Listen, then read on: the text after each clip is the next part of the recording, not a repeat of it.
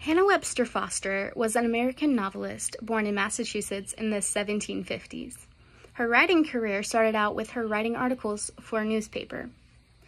Foster wrote two books in her time, one being my personal favorite out of all of our readings, The Coquette, otherwise known as The History of Eliza Wharton, and the second one being The Boarding School, also known as The Lessons of a Perceptress to her pupils.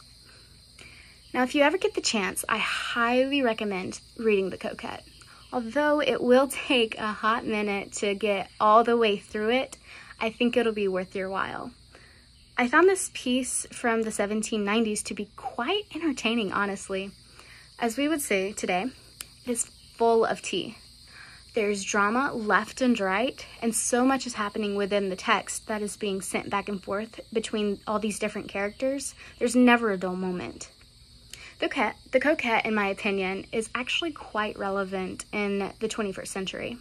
It discusses of gender and social roles in society, marriage and what it truly is, and especially individualism. All of which are still a hot topic in 2021, and honestly will be for quite a while longer. If all of this sounds good to you, you should definitely pick up your closest copy of The Coquette, written in 1797 by Hannah Webster Foster, and give it an honest read.